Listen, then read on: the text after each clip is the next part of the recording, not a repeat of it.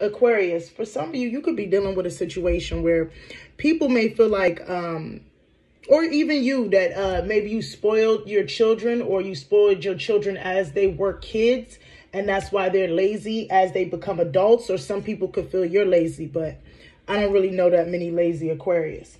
Um, so you could be dealing with an issue there. For some of you, there may be a situation where you may feel like somebody around you or even you could have went through something and they're trying to escape it through drugs or alcohol or uh, you know it's like or even stress. You're trying to escape these things by maybe drinking more smoking more or whatever the case may be. And it doesn't have to be you. It could be like i said it could be somebody in your life whether that's um, a child or that's um, a mate or somebody that you're with for some of you, you may be looking into uh, tarot or doing a lot of tarot readings, or maybe for some of you, maybe even your psychic abilities could be opening up.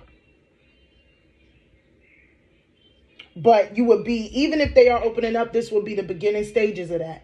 For some of you, maybe you're dealing with a death and a rebirth process where you're you're going from being one way to totally changing up for some of you, you may live with your in-laws or living with your in-laws or something about secret affairs or all or nothing. You you might be the type of individual that when you're in love, it's all or nothing.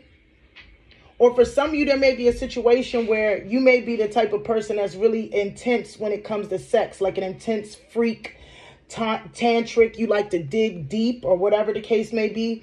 And there may be a situation where you could be in a relationship where either you if you're not like you're the type of person that if you're not satisfied sexually then you can find yourself cheating or going outside the relationship or you can be dealing with someone like that